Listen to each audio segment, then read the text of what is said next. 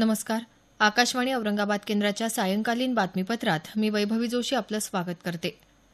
सरकारच्या विविध कल्याणकारी योजनांचा लाभ घेण्यासाठी आधार क्रमांक जोडणी करण्याची अंतिम तारीख एकतीस मार्चपर्यंत वाढवण्याचा विचार असल्याचं केंद्र सरकारनं आज सर्वोच्च न्यायालयाला सांगितलं. मात्र मोबाईल सेवा अखंड चालू राहावी याकरता आधारशी जोडणीची अंतिम तारीख सर्वोच्च न्यायालयानं ठरवून दिल्यानुसार सहा फेब्रुवारीच राहील असं मुख्य सरकारी वकील के के वेणुगोपाल यांनी सांगितलं. आधार जोडणी करण्यासाठी अपयशी ठरलेल्यांविरोधात सरकार कोणतीही कठोर कारवाई करणार नाही अशी लेखी हमी सरकारनं द्यावी अशी मागणी आधार जोडणीला विरोध करणाऱ्या याचिकाकर्त्यांच्या वकिलानं केली आहे. दरम्यान आधार जोडणीला विरोध करणाऱ्या अंतरिम याचिकांच्या सुनावणीसाठी सर्वोच्च न्यायालय घटनापीठ बसवणार आहे. गोपनीयतेचा अधिकार हा घटनेनं दिलेला मूलभूत अधिकार असल्याचं न्यायालयानं म्हटलं आहे. कर्मचारी भविष्य निर्वाह निधी संघटनेनं आपल्या साडेचार कोटींहून अधिक सदस्यांसाठी एक नवीन सुविधा सुरू केली आहे. यात खातेधारकांना आपली विविध भविष्य निर्वाह निधी खाती एकाच युनिव्हर्सल एकत्रित खाते क्रमांकाला जोडण्याची परवानगी मिळणार आहे. तसंच कर्मचारी भविष्य निर्वाह निधी संघटनेचे खातेदार आपली विविध दहा खाती एकाच वेळी युनिव्हर्सल खाते क्रमांकाला जोडू शकतील. ही सुविधा सुरू करण्यासाठी या आठवड्यात कर्मचारी भविष्य निर्वाह निधी संघटनेनं आपल्या एकशे वीसहून अधिक कार्यालयांना निर्देश दिले आहेत.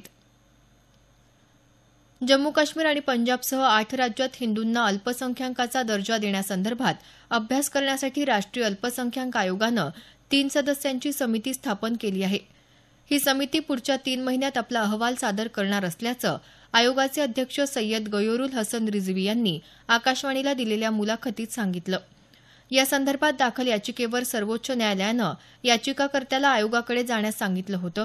त्या पार्श्वभूमीवर ही समिती स्थापन केल्याचं ते म्हणाले. अंधश्रद्धा निर्मूलन समितीचे डॉक्टर नरेंद्र दाभोलकर आणि कॉम्रेड गोविंद पानसरे यांच्या मारेकऱ्यांचा अद्याप तपास न लागल्याबद्दल मुंबई उच्च न्यायालयानं आज तीव्र नाराजी व्यक्त केली. विशेष तपास पथक आणि केंद्रीय अन्वेषण विभाग या प्रकरणाचा तपास करत आहेत.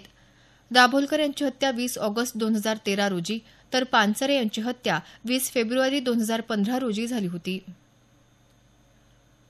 परभणी जिल्ह्यात जलयुक्त शिवारच्या कामांचं जिओ टॅगिंग करण्याचे निर्देश जिल्हाधिकारी पी शिवशंकर यांनी दिले आहेत. ते आज परभणी इथं जलयुक्त शिवार अभियानाच्या कामांच्या आढावा बैठकीत बोलत होते. जिओ टॅगिंगमुळे झालेल्या कामांचे सचित्र अभिलेख अद्ययावत तंत्रज्ञानानं संगणकावर दिसणार आहेत.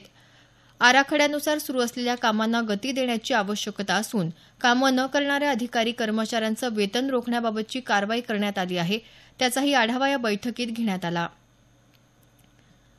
स्वाभिमानी शेतकरी संघटनेच्या वतीनं जालना इथल्या जिल्हा कृषी अधीक्षक कार्यालयासमोर आज धरणे आंदोलन करण्यात आलं. यावेळी शेतकऱ्यांनी बोंडाळीनं बाधित कपाशी कार्यालयासमोर ठेवून घोषणाबाजी केली. बोंडअळीचा प्रादुर्भाव झालेल्या पिकांचे पंचनामे करून हेक्टरी पन्नास हजार रुपये नुकसान भरपाई द्यावी. बीजी दोन या कपाशीच्या वाणावर बंदी घालून संबंधित कंपन्यांवर गुन्हे दाखल करावेत आदी मागण्यांचं निवेदन यावेळी जिल्हा कृषी अधिकाऱ्यांना देण्यात आलं. शेतकऱ्यांचा वीज पुरवठा खंडित करणं आणि सक्तीच्या वसुलीच्या विरोधात परभणी इथं खासदार संजय जाधव यांच्या नेतृत्वात विद्युत वितरण कंपनीच्या जिंतूर रस्त्यावरच्या कार्यालयाला आज टाळे ठोकण्यात आले. कार्यालयासमोरच्या रस्त्यावर ठिय्या आंदोलन करून वीज वितरण कंपनीच्या सहव्यवस्थापकीय संचालकाच्या प्रतिकात्मक पुतळ्याचं दहनही करण्यात आलं. धुळे जिल्ह्यातल्या बी बियाणे रासायनिक खते आणि कीटकनाशक विक्री करणाऱ्या छत्तीस विक्री केंद्रांचे परवाने रद्द करण्यात आले आहेत. धुळे जिल्हा परिषदेनं ही कारवाई केली. राज्यात थंडीची लाट पसरली असून गोंदिया इथं आज नऊ अंश सेल्सिअस तापमानाची नोंद झाली. उस्मानाबाद इथं सोळा पूर्णांक चार औरंगाबाद इथं एकोणीस पूर्णांक सात तर परभणी इथं वीस पूर्णांक चार अंश सेल्सिअस तापमानाची नोंद झाली.